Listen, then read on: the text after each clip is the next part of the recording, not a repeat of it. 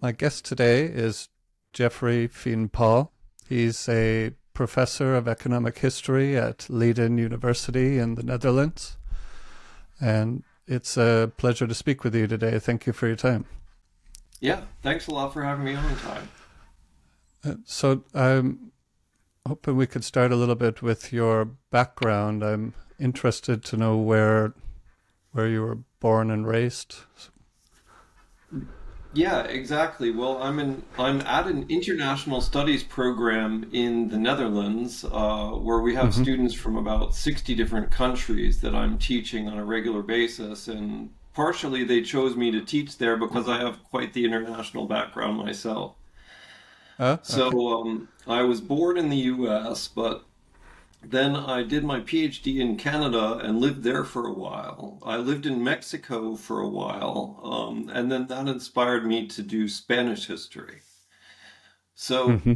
I've done a lot of the history of the Spanish Empire, and I've lived in Spain and uh, French Belgium and the Netherlands and the UK during the course of my studies and research.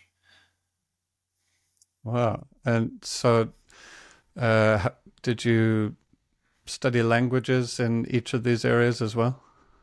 Yes. Well, um, yeah. as a North American, I'm much better at reading languages than speaking them. And uh, mm-hmm. so I can read about eight different languages as a researcher. They're all Western, basically every language in Western Europe except for Scandinavian. Um, but I'm not as good at speaking them. I can get by if I have to. Mm-hmm. Uh, and uh, when you were growing up, what were some of the influences or experiences that led to you choosing history as well, a, yeah. a I mean, topic I of interest? in this really, I grew up in this really interesting town in the United States. Uh, it's called Bethlehem, Pennsylvania, and it was named by um, Moravian uh, separatists, I suppose, religious separatists who had settled in Pennsylvania uh, mm-hmm. in the 1730s and 40s. Um, and so that town has this wonderful colonial nucleus from the 18th century, but then it has a fabulous 19th century steel uh, mill and, and urban nucleus as well. So it has, a, you know, about as much history as you're going to be able to have in North America. And mm-hmm. uh, it really got me inspired to travel all around the US and Canada and find all the old colonial towns. Uh, and then that gave me a sort of thirst for, for older things. Um, and so then I went and studied in the UK and got, you know, thoroughly into earlier history, medieval and Roman. Mm-hmm. And with Spanish history, you're focusing on the development of institutions and, and family life in Spain and in the Middle Ages? Is that? Yeah, well, I mean, yeah. I always had this sort of interest in economics. And so when mm-hmm. I did Spanish history, I went into economic history. So I was looking at the Spanish Empire and really Spanish expansion abroad, but I looked at the economic underpinnings of how and why that worked. And I found out some really interesting you know, things such as, you know, why could the Dutch defeat the Spanish in the 17th century? This tiny little country, how could they defeat the Spanish Empire? Um, and it turns out the, the main reason seems to be that the Dutch were just better at uh, raising money cheaply than the Spanish were. The Dutch created a financial system that enabled them to mobilize capital mm-hmm. in a mm-hmm. way that the Spanish government never learned how to do. And so the Dutch could uh, build 100 ships for every 10 the Spanish could build. And did that include debt as well? The ability to have uh, have debt in the banking system? Exactly. So the system? whole modern yeah. idea of the modern idea of public debts, which is what every state runs on now, um, was invented by originally the Italians and then taken up by the Dutch. Um, and it works like a credit card where you can expand your tax revenue by 20 or even 100 times. So states that didn't figure out how to do that until later, such as Spain and France and the Ottoman Empire, ended up falling far behind these more financially uh, advanced states. So that was okay. part, one of the major interesting things I found about economic history and how I got into the history of, of Spain and the Spanish Empire. Interesting. Because uh, in the Middle Ages, the 16th century or so, Spain developed into quite a powerful empire with its overseas territories and the influx of, was it silver or gold that came into Spain at that time? Yeah, exactly. Well, the interesting thing is Spain got rich simply by mining the silver because back then silver equaled money because all the currencies, of course, were, were pegged to a metallic standard. Um, mm-hmm. But the Spanish didn't yet develop the sophisticated financial techniques to really be able to profit from this capital. So most of the silver they mined, they just spent elsewhere in Europe, basically. It all left Spain okay. almost as soon as it got there. All right. And uh, through doing other research, I saw that you were involved in the development of an academic journal called the Journal of Global History. What's your role with that journal? Yeah, well, or, that's the uh, Journal of Global Slavery. Uh, actually, I oh, did I say global history? Global I meant history. global slavery. Sorry exactly. Well, as an economic historian who was looking at the Spanish Empire, I realized that slaves were one of the major commodities that was traded. And so I developed early on an interest in slaves as sort of an economic good and what were the economic underpinnings of who got traded where. Mm-hmm. I found out that in the medieval period, it was actually your religion rather than your race that helped determine whether you were labeled as a, a saleable commodity. And it was only in the early modern period that we started to think about race uh, instead of religion. And so mm-hmm. the whole slaving system actually changed during those centuries. It's a really interesting topic, but that's why we founded the journal to explore these ideas. Okay. It seems seems to me I remember that one of uh, the first foreign policy initiatives with the American Navy, Jefferson sent the Navy to the Mediterranean to protect merchant ships from, uh, was it North African, uh, North African uh, ships or civilizations were attacking them and enslaving them. Does yeah. Does that well, sound right uh, too? They yeah. were still operating on the idea that anyone who wasn't of the dominant religion, in this case Muslim, was enslavable. And so that meant mm-hmm. basically Christians and pagans. And so, yeah, the, the the Barbary states were definitely preying on Christian shipping in the Mediterranean, right up through the 19th century. So, uh, when was this Journal of Global Slavery established, or when did it uh, begin? We established it, oh, I'd say around 2015. Um, we 2015. had an initiative. We had a bunch of scholars who were working on different aspects of global slavery at Leiden University. One of the best things about my university is we have this huge uh, history department with about 200 faculty, and so we have lots of expertise wow. to do projects like this. Yeah. Mm-hmm.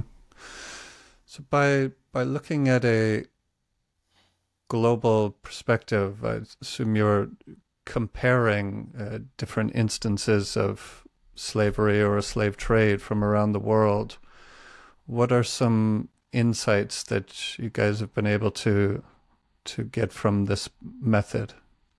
Well, one of the most interesting things we looked at was slavery in Asia, and the mm-hmm. model mm-hmm. there was was um, not following the Greco Roman model, whereas the Greeks and the Romans tended to very distinctly define someone as either a slave or a not slave.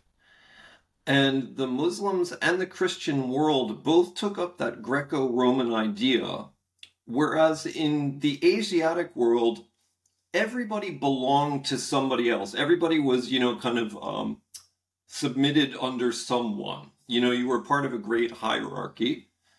Uh, mm-hmm. but there were not clear divi- uh, divisions always between who was a slave and who was not a slave. It was just a simple okay. case of people being dependent on one another. Mm-hmm. And so in the Asiatic model, we've learned you can't use this language of slavery, not slavery, and you have to talk more about dependency and you have to talk about precariousness rather than something mm. so easily defined as slavehood. Mm-hmm. Interesting. So it was around 2000 and was it 2001 when you wrote the article for the Spectator uh, oh, that yeah, 2021. Yeah, so just a few 2021.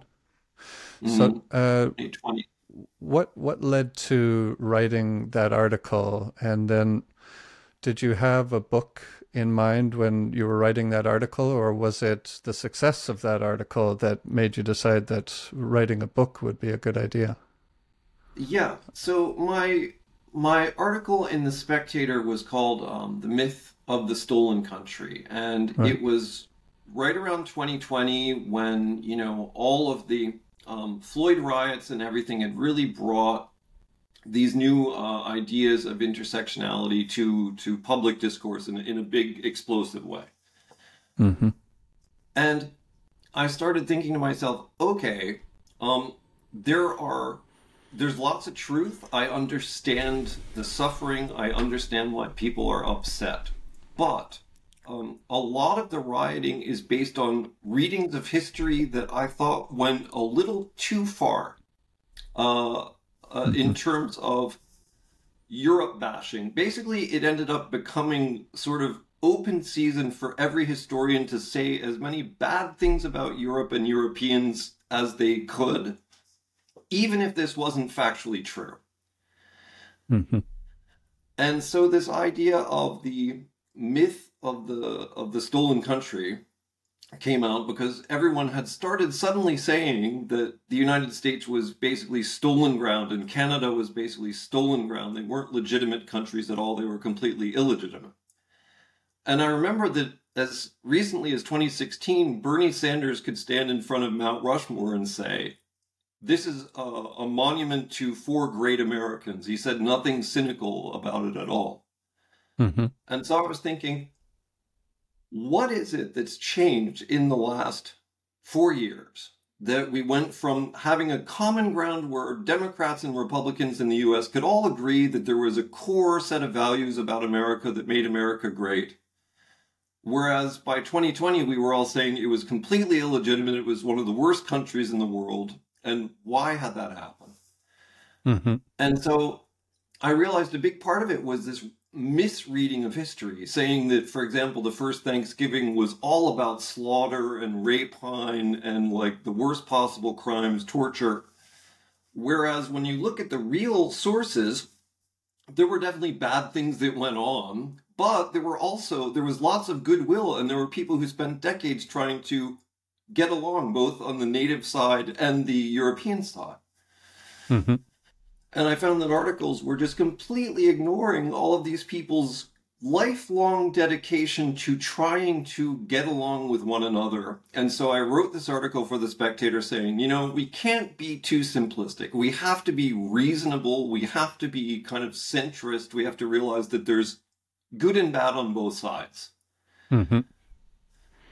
That article ended up going extremely viral because back then in 2020, if you tried to say anything, you know, pushing back against the extreme anti-Europeanism or being, you know, pro-Europe in any even a moderate way, mm-hmm. um, then you know people freaked out. So it, it had millions of views, but there were a lot of people who agreed with me. I got a note from Steven Pinker. I got a note from really you know prominent people saying this is really great stuff.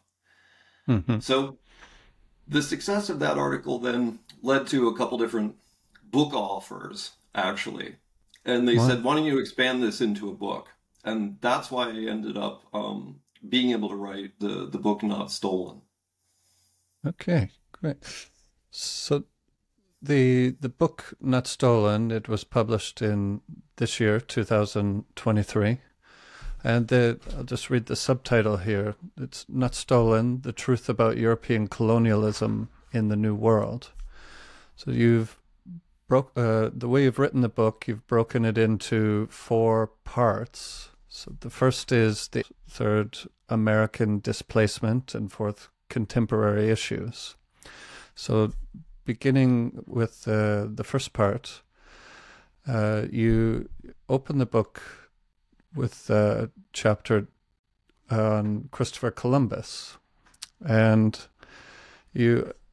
I, I found this an interesting chapter because uh, many years ago I read Howard Zinn's book, A People's History of the United States, and was somewhat alarmed or uh, taken aback to read of uh, words attributed to Columbus on on meeting Native uh, American Indians for the first time, and in in this book he he the quote attributed to Columbus is that the natives seemed rather simple and would make good servants. And the takeaway from this is that uh, upon first contact, Columbus's thoughts were that he wanted to enslave these people. And I was really interested to read your book and see that these quotations are not actually they, were put together in a certain way and when you put the full quotation there it, it seems to say something different. Could you talk about how you put this together?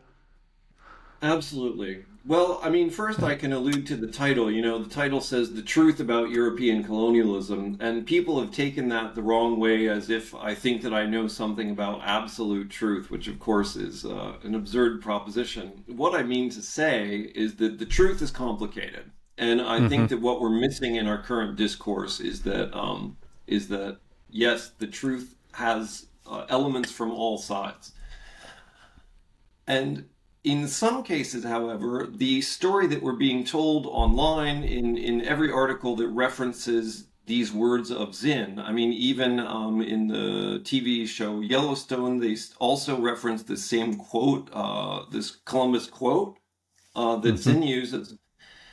But this quote is a perfect example of having been cherry picked. So this is the the kind of truth that most people think uh, they know about Columbus, but it is in fact based on a very much cobbled together statement. So, um, Columbus shows wonder about the New World and its natives. He has several passages where he says these people are just as intelligent uh, as anybody in Europe. Uh, he says these people will become great workers once they have been given Spanish technology they'll be just as clever at employing it as any Spaniard. Mm-hmm. And he doesn't say they'll make great servants in the sense that we think. I mean, a lot of people are now trying to interpret that as they'll make great slaves. So I think mm. in, in Yellowstone, they actually interpreted Columbus's words. He does use the Spanish word servidores, servant, and he doesn't say slave. Um, but what he meant was he was talking to Ferdinand and Isabella, the king and queen, and he said these will make great subjects. So he wasn't saying servants, he was saying subjects. And so that's also been taken out of context. Mm-hmm. Because, of course, by saying they'll make great subjects, what he's saying is that they'll be great fellow citizens. Uh, so they'll right. be equals. Mm-hmm. And um, uh, a number of people at this time, not just Columbus, in the Spanish court, were all quoted saying similar things. But Zinn, of course, is a 70s radical Marxist who, whose main project was to make the US look as bad as possible. Mm-hmm. So now Zinn is all of a sudden, with the age of social media, being taken as this great. Whereas for decades, most historians thought that Zinn was far off to one side of the debate. So with Christopher Columbus, uh, how would you assess how he's uh, remembered culturally today? From we don't talk too much about. At least I don't get the sense we talk too much about him in Canada. But I am aware that in America there's a, a Columbus Day, and he's he's uh, still a relevant cultural figure. But there are there's a competing narrative out there that he is responsible for the death of millions of people and that we uh, really need to stop uh, treating him as a, a hero or a great adventurer and and start thinking about him as this bad or evil person who came over and uh, to the New World, enslaved people, and was responsible for the death of up to millions. Yeah, well, there's there's a number of different elements to this story. I mean, in some ways, Columbus is a typical 19th century, early 20th century uh, hero that was concocted for the United States to try to create a national myth, because that's what every country in Europe was doing at that time, you know, for better or for worse. Um, then the Italian American community was really promoting Columbus because they were very much persecuted. I mean, my grandmother was Italian. She wasn't allowed to marry my grandfather. She was forbidden to marry him uh, by his parents because she was Catholic. So there was there was a lot of serious uh, social division that this was attempting to overcome. Um, and then in Latin America, Columbus is celebrated along with it's called Race Day, and that sounds pretty weird in English, but what they're saying is Latin Americans are acknowledging that they are very much a blend of native and Spanish. Mm-hmm. And so they see Columbus as one of their ancestors because, as basically half Spanish and half indigenous, Latin Americans see that they wouldn't be who they were without Europeans. So it's a lot harder for Latin Americans to just kind of, you know, uh, despise Europeans and despise European colonists quite as readily as they can in North America, where very few people have indigenous blood. Um, so the North Americans then, North American academics, can rip on Columbus and call him a colonialist in a way that most people in Latin America will not do. Uh, for example, Mexico is 80% mixed race uh, people and and uh, and or indigenous. So I think it's maybe only ten or fifteen percent are European, mm-hmm. full full blooded European. So south of that border, people realize um, just how many natives uh, are very much uh, surviving genetically. They're, they're just more mixed. But north of the border, we can tell these tales that Columbus was totally evil. He's the reason why there's so few natives and so little mixed blood relatively. Hmm. And then the lies that they tell about Columbus are often based on the the biggest possible exaggerations of population figures. So for example, the tiny island of Hispaniola, the genetic studies have recently shown maybe had about 40,000 people. Well, somebody in the 1970s said, oh, I think they actually had 8 million people. Mm-hmm. And then our first population census from the 1540s shows, oh, there was about 40,000 people on the island. And then when they say there was originally 8 million in 1491, it makes it look as if Columbus was uh, responsible for millions of deaths, but that was made up out of broadcloth. So I think you use quite an interesting common sense approach to to show why this is a grossly inflated figure by comparing that island to England, which is one of the more advanced economies in the world. And how, how do the islands compare in terms of geographic size? Well, that's just it. So, one of the reasons why you could tell, even before the genetic studies came out, um, that Hispaniola only had maximally a couple hundred thousand people um, was that it's only mm-hmm. about 60% the size of England, it's mountainous, and they had only hoe farming techniques. So they use stone hoes rather than plows to grow their food, which means that the number of calories per acre that they can get is much smaller than contemporary England, where they had um, metal plows and, and draft animals. Mm-hmm. So if England had about 2 million people and it was larger and had much more technology, then it stands to reason that Hispaniola is going to have a relatively small fraction of what uh, England had at the time. So that's just common sense. And I had kind of worked that out myself um, just from doing basic tools of economic history. Mm-hmm. Uh, and then along comes this genetic study that completely backs up what I had just done through reason. So that that was good to see. Yeah, was so. One of the things you deal with in the book is trying to get a best estimate of the populations uh, that existed in North America and South America at the time that uh, Europeans first made contact and and uh, subsequent waves of people came over. So, how how did you go about trying to, to figure out, say, with North America, how many uh, Native Americans were living in North America at that time in the 15th century? Well, this is what really comes as a revelation because they talk about the idea of settler colonialism, and maybe we'll get into that later, but the idea that Europeans mm-hmm. went over to the New World with the idea of displacing the natives, right?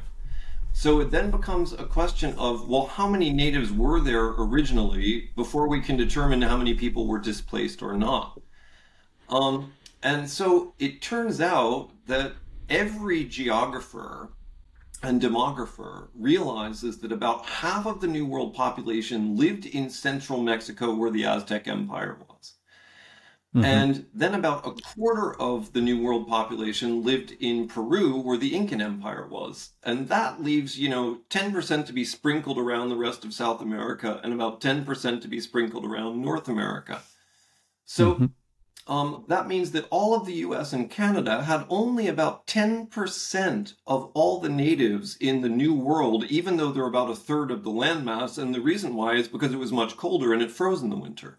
So it was much harder for early civilization to take root there. It's just like in the old world, um, Egypt and Mesopotamia became the cradles of civilization because you could grow the most food and because there were good river systems. And right. so they, they grew a lot of people simply because they had a lot of calories.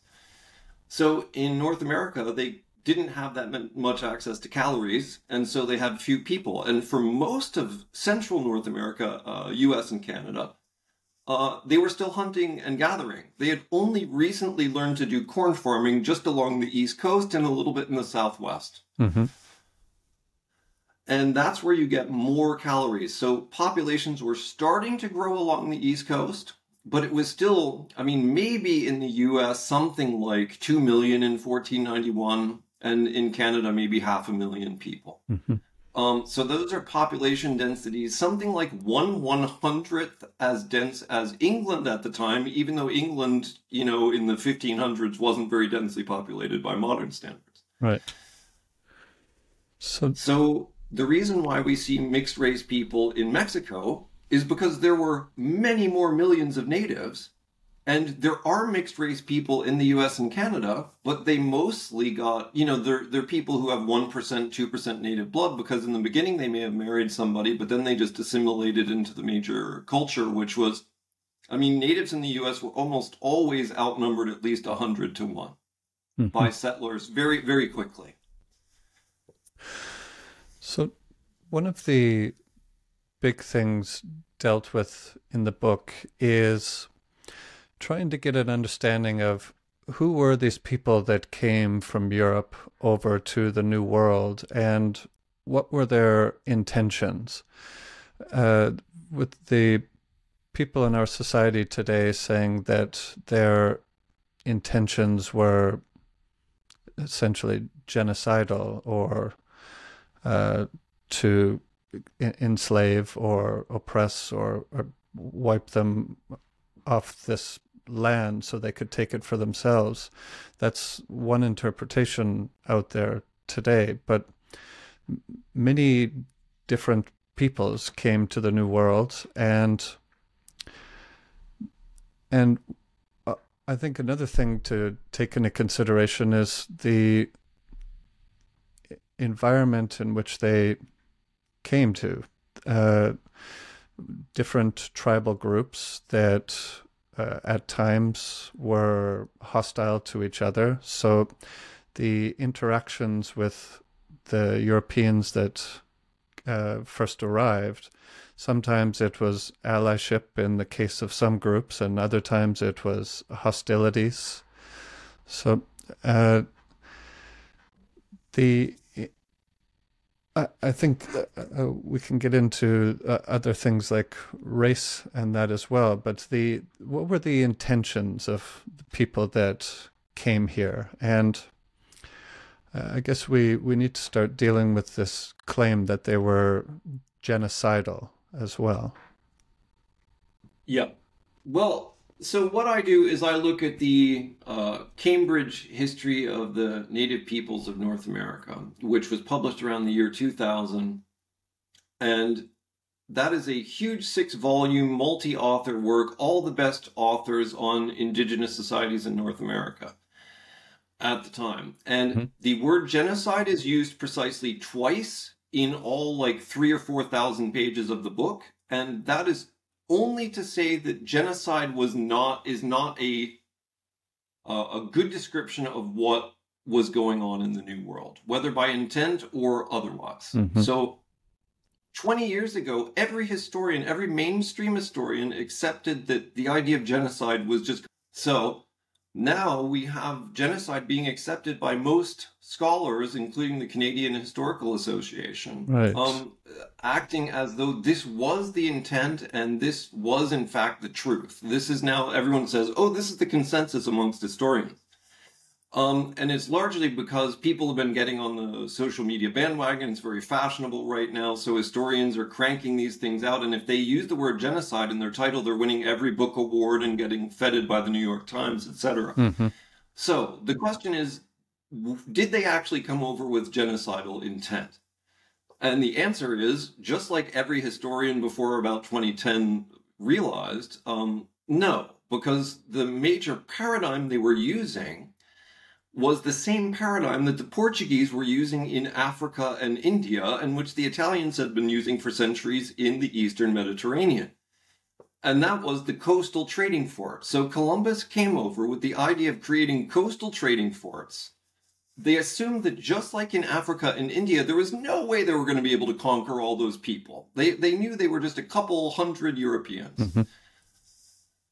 So their main goal was to create trading posts and they thought that it might be centuries before they would make inroads inland, if at all. They assumed that the native rulers were always going to be kings in India, in Japan, etc., and so they thought it was going to be the same way in the New World. So, what happened differently, of course, was disease. The New World only had 10% of the global population, whereas Africa, Asia, and Europe had 90%. So their immune systems and diseases were much crazier, and the immune systems were much used to to wild influxes of disease, such as the Black Death. Um, mm-hmm. And in the New World, their immune systems were not used to that. So their population plummeted by some 90% over the course of 100 or 200 years, often before Europeans even arrived. And so that made it in, you know, in such a way that it was much easier for the colonists to simply walk through the land because in all of the US state of Virginia, by the 1670s, there was maybe only a couple hundred people left. Uh, and that was nobody's fault. They had died hundreds of miles from the frontier by disease. Mm-hmm. Then in Mexico, where, you know, a lot of the natives died, but they still uh, survived in largish numbers, there was the tribal system, as you alluded to, which meant that since most tribes saw their rival tribes as inveterate, um, generations long enemies, you know, they called them worse than dogs, deserving of death. You see this. One tribe will say this about another tribe all the time. Mm-hmm. Cortez could walk into Mexico City because he had tens of thousands of native allies who had been oppressed by the Aztecs, they readily allied with Cortes. They're the ones who supplied most of the manpower for his conquest. So, yes, that tribal system very much enabled Europeans to conquer more than they would have. But it also shows people were not thinking about race at the time. The Europeans weren't either, and we can talk about that in a minute. Mm-hmm. Um, but they were talking, they were thinking about political alliances, uh, plain and simple. Today's obsession with race is totally manufactured and ahistorical. Right. One of the fascinating things from your book, uh, I think that is related to this topic is how, uh, let's say, low lower class or middle class uh, European people were quite eager or interested in marrying the New World Native American societies because uh, essentially it was a type of hypergamy that they could raise up in in uh, class and status within society back maybe even back at home as well which which shows that they at least the the people who were interested in doing this they had some respect for the social systems that they were engaging with and they were uh, interested in uh, they they thought that these uh, noble people were uh, a class higher than them. This this was something I thought was really interesting from the book.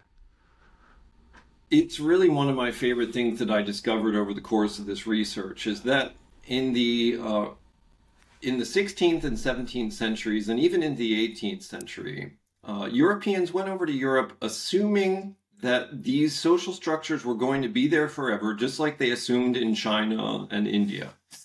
So, um, because they were so obsessed with the idea of nobility uh, back then, um, they picked out the chiefs and the you know the relatives of the chiefs, and they were ready to assume that these were noble people. So Cortez and his lieutenants did everything they could to marry um, Aztec uh, princesses and in uh, and Pocahontas was also considered a princess. And so her English husband was kind of accused of marrying above his station because he had dared to marry an Indian princess, even mm-hmm. though he was a commoner. And in Canada, we find the same thing. We find a French baron marrying the daughter of a chief and bringing her back to France to live as a baroness. Mm. And um, so this goes on in the French and English and Spanish uh, uh, colonization processes. And absolutely, it shows that they actually thought that noble natives were actually of a higher social status than most Europeans. Uh, to me, that seems like sort of the opposite of racism. Mm. Yeah, I, I agree. It, uh, so the in the Spanish case, uh, this term conquistador is used. And uh, you say in the book that it's used as an umbrella term, basically for any any Spanish uh, migrant, basically, no matter what their occupation or intention was. And you, uh, this is in chapter four, you make this interesting point uh, about how historians are, are studying this stuff and saying that uh, everything to do with the Spanish, they they're conquistadors and they were bad and had evil intent. But you point out that there are other cases, say the uh, the Russians in Alaska and what they were doing there. This gets largely ignored, and you uh, i'm going to read a quote here which i thought was really good you said the reason for this comparison was to show the extent to which ideology drives us to magnify some atrocities while ignoring others that stand in plain sight it's the job of an objective historian not merely to lament and lay blame for tragedies but to contextualize them and to compare them with similar events for the purpose of coming to a true understanding of their cause and context. So I liked the way you put that. I was wondering if you could uh, talk about that a little bit more. Yeah. Well, I mean, we see this all the time, right? I mean, I um, uh, with I don't even really want to talk about the Israel Palestine thing, but whatever uh, whatever side you choose, it's so easy for people to look at what the other side does as an atrocity. But if people on your own side are doing something bad, it's very easy just to gloss over them. Mm-hmm. So it's kind of a natural human instinct, and I'm afraid that historians who are supposed to be objective, certainly about things far in the past, with modern politics, it's more visceral but about these things that happened hundreds of years ago. Now historians are acting just like political partisans might act today. Mm-hmm. And so, you know, for example, Russia took over Siberia, killing tens of thousands of natives, and we never hear about that. And yet, the US and Canada, where the total, you know, number of massacres in the US was actually less than 10,000 natives massacred before 1848, just less than 10,000 out of a population of a couple million. Um, and in Canada, maybe a couple dozen um, uh, people were massacred. Um, and and then we ignore the fact that natives in the U.S. actually massacred more white people than vice versa. So the death mm-hmm. toll, mm-hmm. you know, from native massacres was actually higher. Um, we ignore all of that, and then we call the U.S. illegitimate and genocidal, whereas nobody would say that Russia is an illegitimate genocidal country, even though when you look at Russian history, there's more of a claim to, to make that claim than there is for the U.S. Certainly, yeah. Yeah. But I think that because, maybe also because historians tend to skew left for various self selecting reasons, during the 20th century, Russia was seen as the USSR and maybe a thing that the left didn't want to criticize as much. So then nobody tends to know about this, this kind of dark history of Siberia. Mm-hmm. Um, and, and then we have the Zinns of the world, you know, desperately digging up any sin that they, they can uh, paint on the United States. Mm. How much of of this attitude towards uh, activism in in doing history is? Would you say that it's a fair characterization to say that these people they, they almost seem to hate their own society the way they uh, relentlessly criticize it do you think that's uh, too strong of a characterization? Well, I mean, you know, um, the intellectual establishment in the United States since the mid 20th century has thought it was fun to play around with Marxism. You know, the obvious intellectual appeal of Marxism is that it promises an equal society, whereas the real world is is nasty and oppressive in lots of ways. It's easy to characterize it that way. So historians were already skewing towards this idea that it's the, kind of their job to critique capitalism, to critique the West. Mm-hmm. But before the rise of social media, you were always kept in check because there was professional decorum. You were always in the room with other people when you made a conference paper or made a pronouncement. And so you knew that there would be older historians looking at you and saying, yeah, but is what you're saying really reasonable? You know, is what you're saying actually based in fact? And there would be people right in front of you who would check you on mm-hmm. that. And that kept historians, I think, you know, even though they were left skewing, that kept them, you know, at least within the bounds of reason. There were there were voices that they cared about who would who would call them out. Now, with the rise of social media, we're finding a new generation of historians who, you know, mostly uh, mostly live on Twitter. Um, and certainly, maybe Elon Musk has ruined Twitter, but certainly for the last seven or eight years, that's what they were doing. Mm-hmm.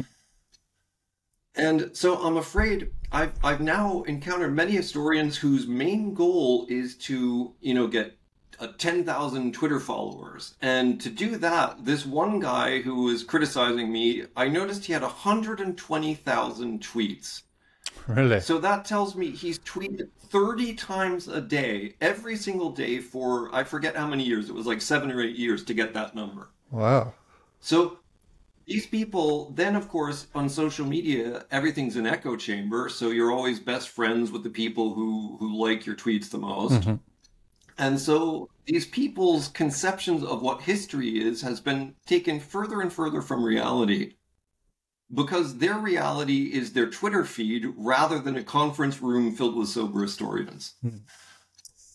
And then, you know, these people get hired and then they hire other historians who think like them. And then we get the Canadian Historical Association making its ridiculous Canada Day statement in 2021 about genocide. Hmm um, which turns out to be totally spurious. And in fact, most of the members of the CHA didn't approve it.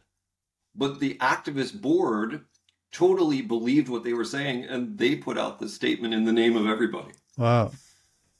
And uh, were you a member of that association because you did your graduate work in Canada? Did you join that association? Yeah, I, I keep tabs with yeah. it um, because I have a lot of friends who are in it, but I don't think I'm allowed to be in the CHA uh, anymore, and I've let my membership uh, lapse. Mm-hmm. But I certainly saw what the board had been up to, uh, and uh, kind of couldn't believe my ears. Mm-hmm.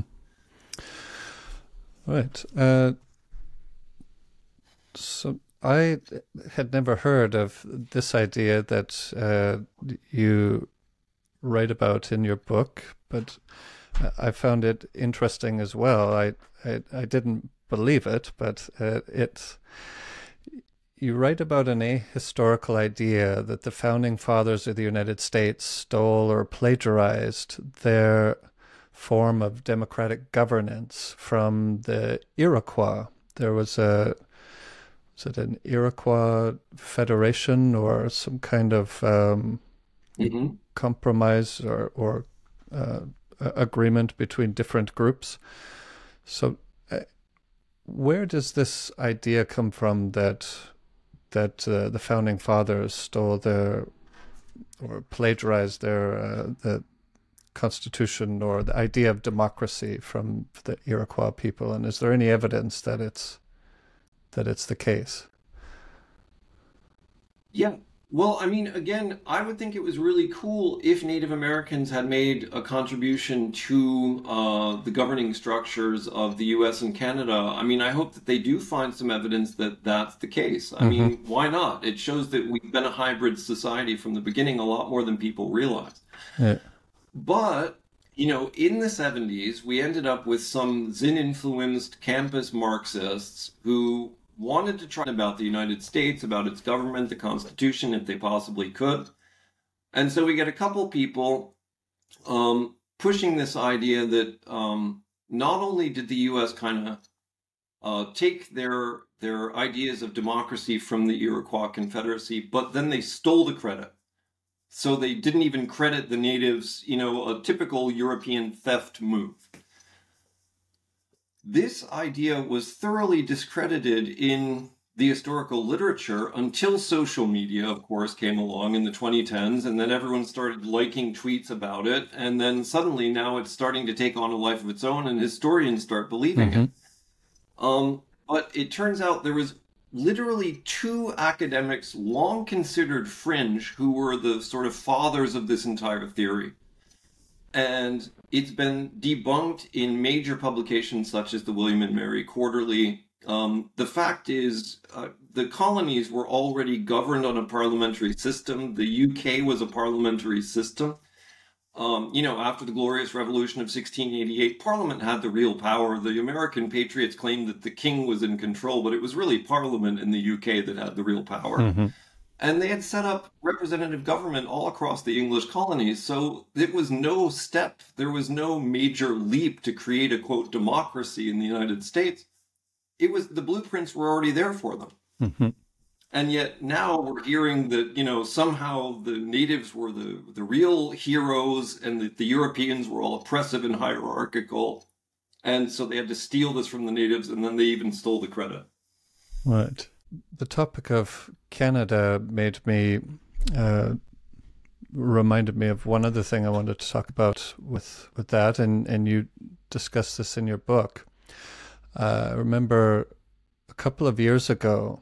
Uh, I'm in Japan here. I, am a Canadian, but I'm living in Japan. So I remember a couple of years ago mm-hmm. hearing hearing news from Kamloops, British Columbia, that at one of the residential schools where Native American children were uh, were taught that they had found a, a grave that contained over 200 bodies of children, and this was uh, an incredibly shocking uh, piece of news, and I think all of Canada probably mourned at this, was shocked by it, and even uh, appalled by it.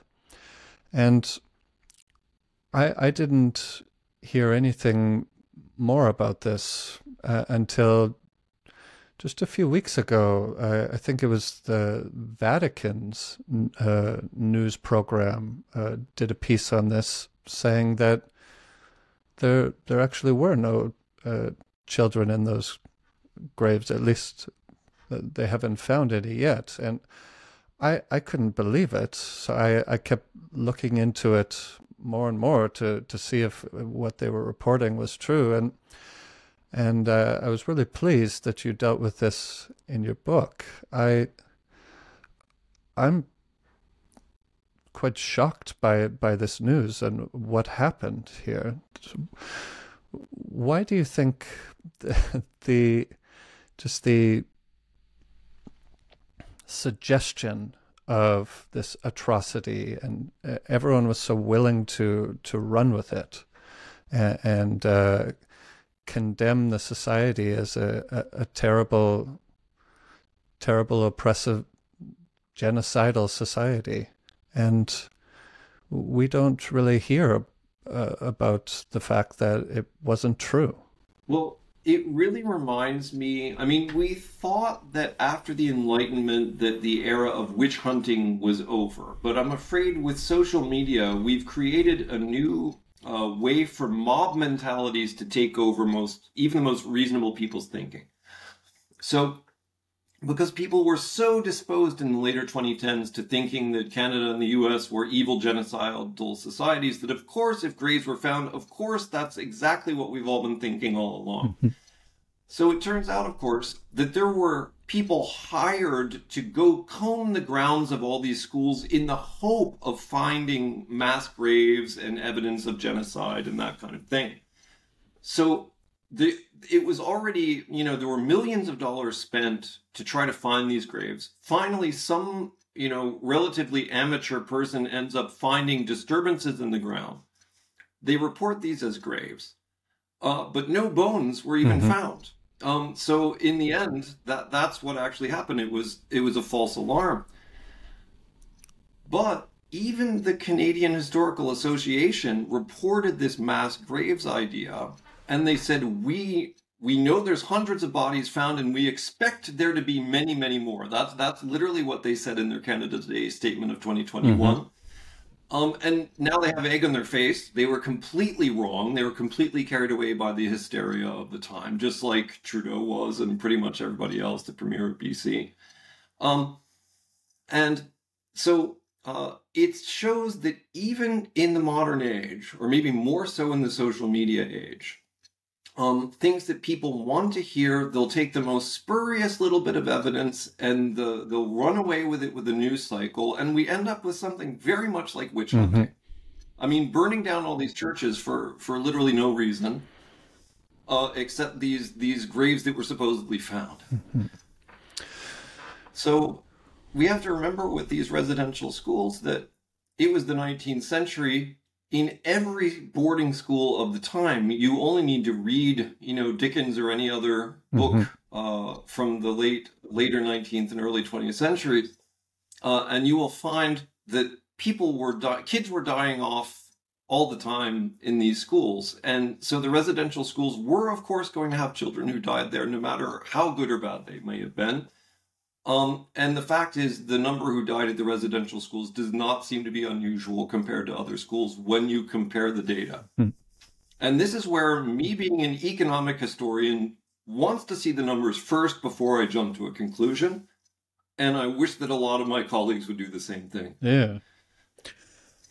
And with these schools, the reputation that I've heard from Catholic boarding schools was that they they all were were strict and quite uh, austere, difficult places to to get through. It, in in some cases, uh, even terrible. Uh, not in terms of their education. C.S. Lewis hated his yeah. School. Yeah, I mean, you you hear anybody who talks about schooling in the 1910s, they loathed it. It was in many ways mm-hmm. awful. Um, you know, I think with the schooling and education, it, there are probably a lot of cases where you know maybe the intentions were good, but uh, the in, in practice how they went about doing it uh, in Canada at least was wrong. But you document in the book that there are many instances of of people setting up schools and uh, offering education to Native American children, and that this happened. Uh, there there are instances of this happening you know, throughout the centuries, even, which I, I thought was uh, quite quite nice stories to read about it is absolutely wonderful to read these positive sides of the way the European settlers were trying to make the most positive impact they could. I mean, just like volunteers today will go set up schools, they'll work in food banks. There have been people doing that. European settlers have been doing that for centuries, and yet we never hear these positive stories. Mm-hmm. Um, in Montreal, a school just closed that had been founded at the very earliest days, and it was set up by a couple of women who had migrated over and set up a school for Native American girls. Uh, and everyone claims, oh, this is, you know, cultural indoctrination, cultural genocide. Well, the first things they did was learn the native languages and write uh, books and dictionaries in the native languages because, mm. once again, they assumed the natives were going to be there forever. So they were actually teaching Europeans to learn native languages, and they were assuming that if they taught natives to write their own languages, they would create their own native literature. Mm-hmm.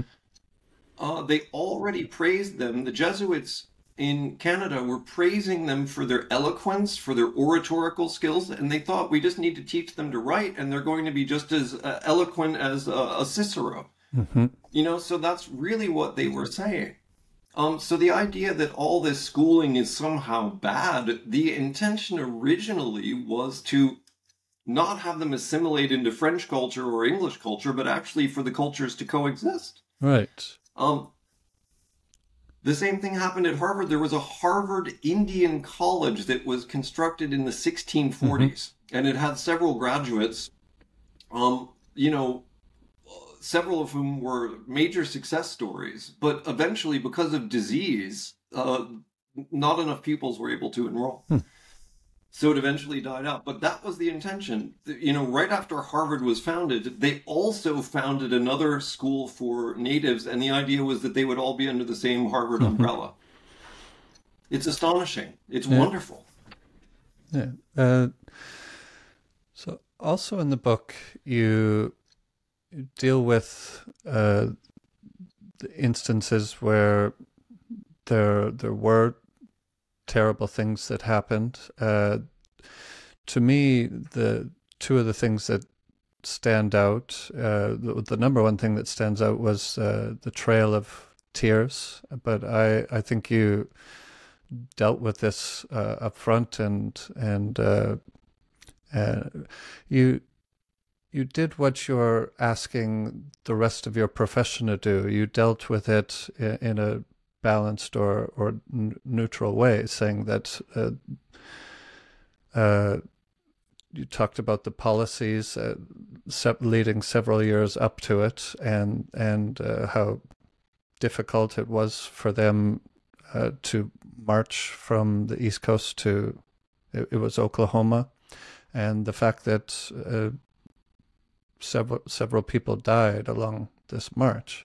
With the Trail of Tears, uh, this whole event, why did the Jackson and Van Buren administrations ultimately decide to enforce this policy? Yeah. Well, I mean, this is just it. So, 50 or 60 years ago, there were people saying, yeah, the Trail of Tears was really bad, but it wasn't a genocide. After all, they were marched to Oklahoma, not to Auschwitz. I mean, the goal was to have them shift land rather than trying to kill them all. Mm-hmm. Now, uh, it still ends up being one of the kind of one of the worst incidents of treatment of Native Americans in the United States, partially because the U.S. had signed these treaties with them and then ended up pushing uh, them out just when they were starting to find their feet. And so I think it was definitely unjust. Um, about 60,000 natives were moved from the American Southeast over to Oklahoma in inferior ground. Uh, Uh, but why did Jackson decide to do it? Partially, always happy to see himself as kind of anti-Indian and, and pro-European settlement, so he was kind of bad in mm-hmm. that way. But in other ways, Jackson was a realist who realized that there were so many settlers trying to come into Georgia because gold had just been discovered that they realized for the native safety, the best thing to do at that point was to move them further west so the settlers didn't end up massacring them themselves. Um, so there was a pragmatic thing. There was no force on Earth that was going to be able to stop hundreds of thousands of settlers moving into land held by a couple thousand natives at this point. So that was that was also a realpolitik kind of idea. Mm. Um, but the part of the story that doesn't get told by my colleagues who write books with titles like Surviving Genocide, you know, so now they're just saying the Trail of Tears was genocide and the natives barely survived. Mm-hmm. Well, um, first of all, only 3,000 out of 60,000 people died, so about 5%. So that's, you know, not normally a genocidal type of figure. It's pretty bad, but it's not that mm-hmm. bad um, compared to what you think when you think of the term genocide. Um, then you realize that on the Oregon Trail, the European settlers who voluntarily went to Oregon suffered about an 8 or 9% casualty rate from disease because it was the 19th mm-hmm. century. So the Trail of Tears percentage of people who died on it was actually less than the percentage of people who died in the Oregon Trail. Then the uplifting part of this story, and it's hard to imagine there would be an uplifting part, but the fact is the US Supreme Court declared this to be illegal. So the highest court in the land said they should not move the natives.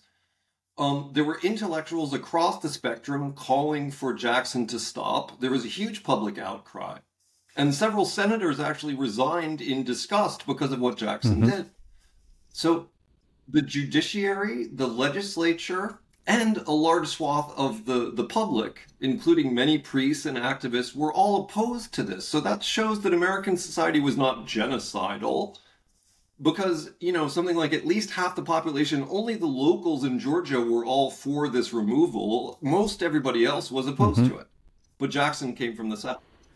So, um, the the fact is the story is much more complicated than you think. And what historians used to know is that no, the term genocide just obscures all of the nuances. And so my book chapter is simply trying to bring back some of what everybody used to know, every serious historian used to know 20 years ago.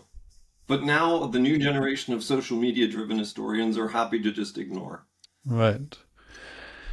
Yeah. Uh, picking up on that that last point, uh, you wrote uh, at one point in the book that young historians enter the profession. Uh, uh, uh, sorry, let me let me say that again. They they aim at activism rather than the truth, and their professors don't do anything to dissuade them from from from this. They don't aim for historic neutrality. They're they're just doing activism. And would you say that how widespread do you think this type of uh, historic training is nowadays? Well, you know, it's basically normative. When I was doing my PhD 25 years ago, um, they were saying to me, write about some kind of oppressed minority. You know, so I was doing Spain. They're like, hopefully there were some slaves there. Hopefully there were Muslims. Hopefully there were Jews. Hopefully there were women that were all being oppressed uh, mm-hmm. somehow. But I said, no, I want to do the general economic trends of what happened in this society because we don't even have the most basic figures about what was actually going on. Um, and so my dissertation was a little less popular with colleagues, even though it eventually got published by Cambridge University Press. So it's published by the best press mm-hmm. there is. But it didn't win any major awards because it wasn't fashionable and cool. So already the fashion was dictating what you're supposed to mm-hmm. write on. And now, um, with social media, again, the fashions have just become amplified even more. So now it becomes virtually impossible to write about something that's not fashionable. Uh, otherwise, you get, you know, uh, disinvited from conferences. Everybody finds out instantly that you wrote something that wasn't uh, toeing the party line. and and you get mm-hmm. ostracized. And so since I wrote my spectator piece 3 years ago, you know, suddenly people aren't really inviting me to conferences anymore. And maybe that'll change a little bit, but um, you know, and I still have plenty of uh, high profile publications coming mm-hmm. through.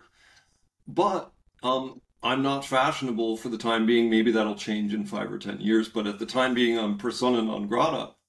And, you know, so in the end, social science, because it's not as much of a hard science, is open to so much interpretation that I'm afraid that uh, most of the scholarship that my colleagues are producing right now, um, I can argue that it's so tainted by bias and political bias specifically that one wonders whether it's even can be considered scholarship a lot mm-hmm. of it you know in the end if it's that activist driven um it's like everybody became a new Zinn. It was okay to have some Noam Chomsky's and Howard Zinns off to the side as long as there was a center that was more reasonable. But now it's like the reasonable center has all shifted over to the Chomsky and Zinn yeah. camp. And and there's no there's no counterweight to this argument. I'm this lonely voice in the profession and of course, I get tagged on social media as all sorts of uh, crazy, even though my publications are, you know, vastly superior to to most of the people that that are criticizing me. But I get labeled as crazy simply because I'm not speaking for mm-hmm. the majority. I don't see any any change to that anytime soon. But I guess the the way to uh, eventually uh, you had a great term for this that you're with this book that you're you're not doing historic revisionism you're doing historic restoration. And i guess one of the paths back to doing truth based or, or truth uh, the uh, history where the goal is trying our best to uncover the truth is uh, by having conversations like these and publishing books like the one that you published and and also when the the majority of people are actively and sometimes in a hostile way against you I, I think sometimes it takes a little bit of courage as well but hopefully uh, you know over the next few years that we can start to uh, bring back common sense and and uh, you know, reason and uh, striving to try and uncover the truth again. Well, I really hope so. I mean, I have so many colleagues under the radar telling me, yes, I absolutely love what you're mm-hmm. doing. So I've had lots of profile, you know, professional, public intellectuals, also just highly placed full mm-hmm. professors, writing me on the side and saying, thank goodness you're doing what you're doing. Thank you for doing this. So because of them, I know I'm not crazy. I know that I'm definitely barking up a tree that that could mm-hmm. bear some fruit. But uh, when you listen to what the majority of colleagues are saying, you know, we're trying to organize a discussion of my book here at my own campus, mm-hmm. for example. Um, most colleagues, especially junior colleagues, are just rampantly saying, "Oh, we shouldn't even give this book a platform." They they don't even want to talk to me about this because that would be seen as legitimizing my argument. Um, when the main argument I'm making is that 20 years ago, our colleagues used to disagree with you. That's all I'm saying, but that's now considered wow. too radical. So yeah, um, there are a lot of people who realize that this is ridiculous, but they're afraid to mm-hmm. go against the mob. Well, I hope I hope you guys are able to to have that discussion at the university because it sounds like yeah. Uh, yeah, well, there are some people who are definitely supporting me in positions of power, mm-hmm. so that is good. But they're getting a lot of pushback, especially from junior social media influenced hmm. colleagues. Um, so we'll have the discussion, but it's not going to be broad because most people are too afraid to even stand in the same room as me hmm. um, for saying something that 20 years ago would be considered obvious. Mm-hmm. But I think too by by having conversations like these where they'll be uh, in the public sphere, uh, I know with my my own gauge when I discovered the the news about the residential schools and how there actually wasn't anything there, I could feel this response within me that said, "I I have had enough of this, and uh, yeah. can't let things keep spiraling out of control because it's it, it's getting chaotic. It's getting crazy, and this is it, it, it comes from academia, but it's it's permeated into uh, into all of the institutions within our society, and and uh, as you've been saying throughout our conversation, social media is feeding a lot of it. Uh, yeah, it was originally American. It was originally based on a very strange, I guess, far left reading of American race relations, and it just kind of poisoned everything else throughout the Western world as a result. Mm-hmm. Um, so yes, you're right. We need conversations like this. That's why I published this book. That's why my book's been, you know, selling very well in Canada ever since it came out. Um, people are really thirsty for anything like a pushback against a narrative we know mm-hmm. is one-sided. We know that the the witch hunt is going on, and that you know this whole idea that there's witches out there has been greatly exaggerated, if not totally made up. Um, and so you know, one hopes that common sense will prevail, but the question is just how much damage is going to be done before before it re- gets reestablished. Yeah, but I worried about that particular uh, topic or the what that potentially might uh, might be. Uh, I, I'd like to back to a couple other topics from within the book. It it seemed to me that in the say the first three to four hundred years uh, of history after Europeans made contact with the New World, that the period uh, between 1830 and the late 19th century was a special period of history that saw uh, a lot of rapid changes occur because of changes in technology, technology mostly, the decline of the bison populations within the North American prairies, and why was this? Uh, uh, first of all, uh, have I got that right? That this was a, a, special period of time in history where where changes were happening uh, happening a lot more rapidly. Oh yeah, absolutely. I mean, so Pekka Hämäläinen, who's at I guess Oxbridge right now, uh, is a specialist in um, the Comanches and and just about natives in the in the central U.S. in the 19th century. Um, and he's written this book, Indigenous Continent, where he says, hey, it was only during the 1830s to the 1880s that most of North America flipped from being in native control to being in settler control. Mm-hmm. Uh, and the reason he gives for this, a lot of it is technological. I mean, the railroads and the telegraph made it way easier for uh, settlers to stream across the continent very quickly. Uh, nobody anticipated, anticipated this in 1830. When they moved the natives to Oklahoma, in the Trail of Tears in the early 1830s, they did not think that there were going to be settlers uh, streaming across to California in anything like the numbers mm-hmm. that they did. But the new technologies made it way easier, you know, the riverboat travel and then the railroads and the telegraph.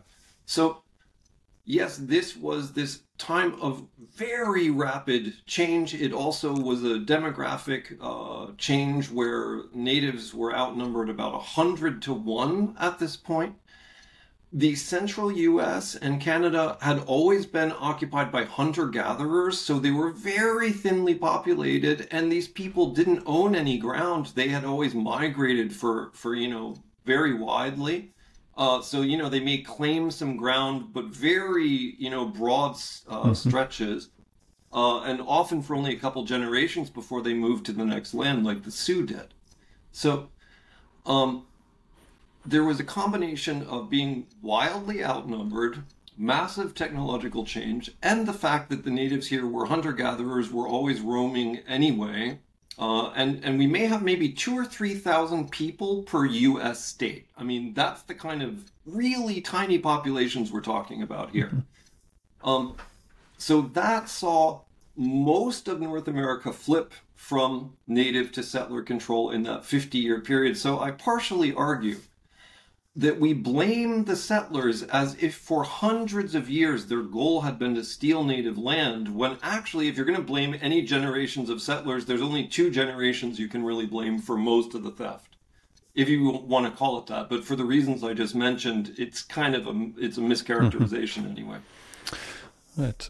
There's uh, a part in in part four uh, of the book called Contemporary Issues, where you uh, give uh, a summary to one of the main arguments of the book, where you say there are virtually no grounds at any time in the 500 year history of European settlement in the New World for declaring European policies or actions against the Amerindians to be genocidal. This is at best a metaphor, or at worst, an inexcusable exaggeration that diminishes the victims of actual genocide. So I think this this is a point that's uh, well worth highlighting as well. That in our society today, when we call everyone a racist, it's diminishing the the potency of that word racist for people who are actually racist. And uh, by calling uh, a bunch of different historic events genocide uh, when these events don't completely um, comply with the, the various criteria that that go into our understanding of what a genocide is, uh, you know, we're we're throwing around these these words everywhere, uh, but we're and we're we want them to have the sting of, of of the and the power that they're meant to have, but we're cheapening them as well by by using them everywhere and at all times. Yeah, completely agree. I mean, so in the US now, uh, in 2020, they started, you know, CNN started calling anyone who voted Republican, so 50% of the population was a white supremacist, where white supremacist used to be reserved for people who attended KKK meetings and were actual white mm-hmm. supremacists, mm-hmm. right? Mm-hmm. So um, now anybody who, who votes Republican is seen as a white supremacist. I mean, that completely dilutes the idea that we're talking about. And it's the same with genocide. So by calling what happened in Canada a cultural genocide, I mean, there were maybe a couple dozen Native Canadians murdered in the entire history of Canada in anything that could be seen as mm-hmm. cold blood. Um, to call that any form of genocide is obviously just reaching for a term that will resonate on social media. Meanwhile, in Ukraine, you know, hundreds of thousands, if not millions, of people are being deported, are being uh, their children are being taken away to be re-educated. Talk about cultural genocide. Yes. Yeah. Um, that is obviously deliberate cultural genocide going on in Ukraine on this huge scale, millions of people, and um, hardly anybody talks about that. Certainly, you know, uh, on the left, they're they're not uh, mm-hmm. shouting about it. And even on the right in the US, for some reason, they're not shouting about it as much as they yeah. should. Side can be applied almost everywhere that the West was. Uh, when 20 years ago nobody used to make those arguments, absolutely is diluting mm-hmm. the term. And one of the points I forgot to bring up earlier, in a, in addition to uh, the assumption that these societies were going to be here for forever, the uh, school programs, the uh, farming, trading, uh, was as soon as Americans had what they thought were effective smallpox smallpox vaccines. Uh, it, it was Thomas Jefferson, right, who who wanted uh, wanted these distributed to Native American Indians uh, as widely as possible to protect them from smallpox. So this this is uh, uh, behavior that goes completely against uh, the narrative that Americans or or Europeans were genocidal towards the Native American Indians. Well, because specialists realized that most natives who did die died of disease, um, they desperately want to show that Europeans did everything they possibly could to spread disease mm-hmm. amongst the natives, to make Europe once again look as bad as possible. And once again, we find that the evidence not only isn't there for that, but it actually skews the opposite way if you look. So historians looking into this have found one incidence of a commander uh, trying to spread smallpox to the natives during the French and Indian War. That's the only time in American history mm-hmm. that's documented. And they're not even sure if that even worked out or went through. So then we see throughout the 19th century, as soon as smallpox vaccines are invented, as you said, from Jefferson, and then even Andrew Jackson, uh, instigated a federal program to inoculate Native Americans, which eventually ended up saving hundreds of 1000s mm-hmm. of lives. You know, at least several tens of thousands of lives, and got many people vaccinated all throughout uh, the U.S. The Spanish were doing the same thing, um, and so uh, this is the exact opposite of what all my students will say. Because if you ask, you know, what did the settlers do? One of the first things any student will say, "Oh, they spread smallpox wherever they mm-hmm. could." Yeah.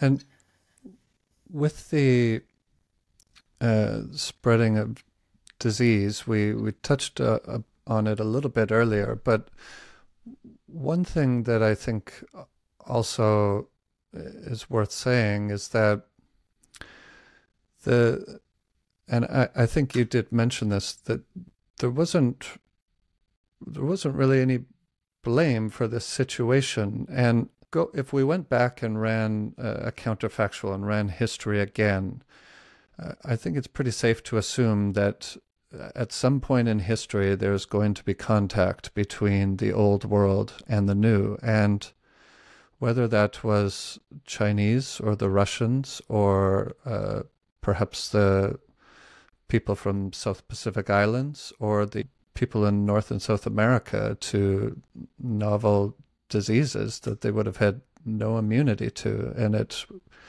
it seems very likely that uh, this kind of event was going to happen in history. Do you think is that fair? If if if that's in any way wrong, please uh, uh offer a criticism of yeah, it. Yeah, well, I mean, yeah, well, I agree. If there was any time that there was sustained contact between an old world society and a new, whether these were Arabs, Europeans, or Chinese, would have mm-hmm. been the most likely. Uh, diseases would have been spread at a catastrophic uh, rate, um, and we would have had a population collapse in the New World. Eventually, the native population would have gone back up, and they started to do that in Mexico after the mm-hmm. first hundred years. So, um, that definitely would have happened unless, of course, contact had been initiated, you know, after the invention of modern uh, invention of modern medicines in in Europe right. in the 20th century. But obviously, Europeans were developing. One of the main reasons why they developed modern medicine is because they had explored all around the world and gotten a scientific mentality. So, I mean, that basically the invention of modern medicine would not have happened unless a society had already explored all around the world first. I think. This this book, not stolen. Uh, would you say is it fair to say that part of it is historiography in a way, and and part of it is also to tell a story of history within our culture as well. It's it's addressed both to scholars and to the general public about how we remember uh, and understand our own history. Uh, would you accept that it has uh, elements of both in it? Yeah. Oh, yeah. It's definitely meant to be accessible to as many people as possible to tell a story of our past, but it's also meant to tell um, the interested non historian what's going on in the historical profession and just how much of a culture war is mm-hmm. going on now. Uh, and in fact, I think how distorted things are. And I think every member of the public who thinks about this realizes that historians have lost the thread. I think that's what a lot of people are thinking in, mm-hmm. in the public in general. But at the same time, absolutely, I want to be um, taken seriously by historians um, by engaging with their historiography quite mm-hmm. cogently, uh, point by point, showing where they're exaggerating, they're lying, etc., etc. Um, and but because the book doesn't have extensive footnotes, it is going to be relatively easy for his, some historians who want to to just say, "Oh, this isn't as serious a scholarship as it should be." But there's more than enough footnotes and um, uh, uh, references to serious works that anybody who wants to can follow up what I'm arguing and see that it has a mm-hmm. factual basis. You know, you can't have everything uh, in right. one book. So I try to toe that line, and a lot of historians are taking the book seriously, thankfully. But opponents who want to can pretend not mm-hmm. to for the time being. But they would have done that anyway. I mean, they, they don't want to hear what I'm saying, and so no matter what I did, no matter how many footnotes I had, they would try to poo-poo the whole thing and pretend it doesn't exist. You reference lots of books uh, throughout in in the actual text that that you're you're engaging with yeah. uh, the people who are making these arguments in, in print about genocide and and uh, the, the land stolen. Yeah. Uh, throughout the course of writing this book, what's what's something that you something uh, that you learned or perhaps uh, expanded upon your knowledge that you thought was interesting? Well, I mean, one of the main things I think that's positive that I learned is that uh, there was so much peace in the first century and a half of settler native relations. There were only a couple wars that broke out in New England and Virginia. Um, and and then you know from the 1670s until the 1740s and 50s we had very few conflicts between natives mm-hmm. and settlers uh, in north america. And even before the 1670s there was a 50 year truce between the natives on the coast of massachusetts and the um, and the settlers as well. So the fact that there was so much peace and the wars we hear about are the few flare-ups that then make it into all the headlines about thanksgiving and so forth um, that was a was a big surprise for me. Just how much peace mm-hmm. there really was, uh, just how much goodwill. Um, and then one of the negative things I learned is just how um, stories such as uh, you know the California Gold Rush have been spun into now they call it the California mm-hmm. Genocide uh, and just how far some historians are willing to go to ignore all the context, to ignore the previous scholarship, and only focus on massacre to make it look like everything was as mm-hmm. bad as possible. So I was shocked by that. In uh, this day of recording, 10 days from now, Americans will be celebrating Thanksgiving.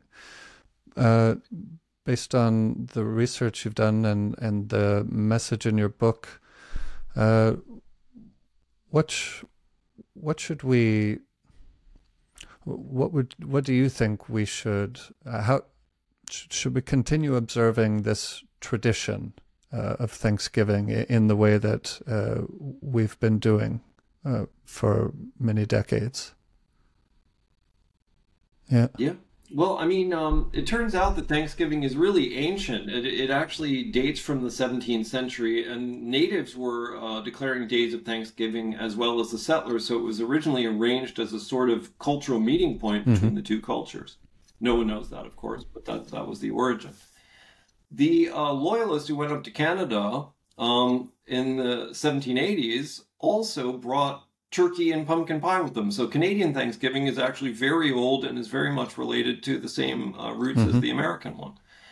Um, so to give up a tradition like this that quickly um, is something that I think you really have to think about because society, once they lose these traditions, they basically never get them back again once things die yeah. out. That's what history tells us. So I would advocate um, uh, looking at Thanksgiving as an attempt to bridge the gap between two cultures, which in many ways was much more successful than people realize. So today we only in the news, you know, goodhousekeeping.com will run an article about the bloody history of Thanksgiving. I mean, so everybody's talking about this. Um, but they're they're once again cherry picking and exaggerating, and they end up quoting from these 1970s Marxists once again, who came up with the idea of Indigenous Holocaust Day instead of Thanksgiving. So again, the most loaded term they possibly could. Um, we don't have to accept that because it was considered radical until 20 years ago.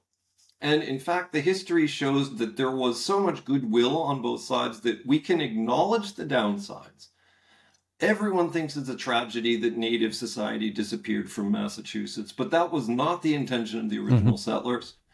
Uh, and we can see this still as uh, a sort of statement of unity, a statement of hope, which it originally was. And there's no need to to look at it more negatively than that. Great. Well, I have one last question for you. Uh, it's based on a, a, quotation from your book that I thought was uh, great, that I want to to read out and then have you uh, expand upon it. You write that your motivation for writing this book was and is to safeguarding human rights for humanity as a whole. This sentence, and I'm hoping you could, uh, as a way of closing expand upon this a little bit more.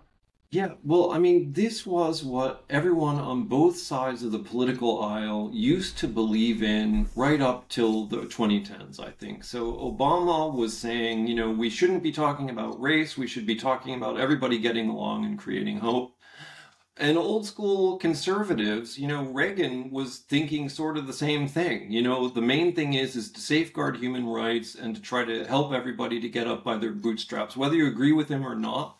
That was the the goal was was to create these uh, respect for democratic institutions and the value that democratic institutions can bring to uh, to empowering everybody across society.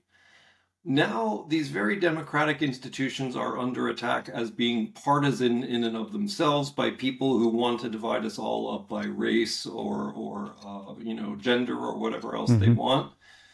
And in the end, if we do away with these universalist human rights values that come out of the Enlightenment, all we're going to end up with is a retribalization of society and a backsliding where human rights actually suffer we've never come up with any system of government besides democracy which maximizes human rights. In the world today, every government which has high levels of human rights respect um, is also a democracy. And anything not democratic uh, is more authoritarian and has less respect for human rights. So, those are the institutions we need to safeguard and then we can work out all of our racial politics and everything else under that umbrella. Mm-hmm. But if we attack that umbrella, that's the only thing that's keeping the rain out. Yeah, very well said. So the book is called Not Stolen The Truth About European Colonialism in the New World. I really enjoyed reading it and really enjoyed the chance to talk with you about it. I appreciate your time. Thank you it was great to have so many uh, great questions about it um, from someone who's read the book. I appreciate that a lot. So thanks. Bye bye.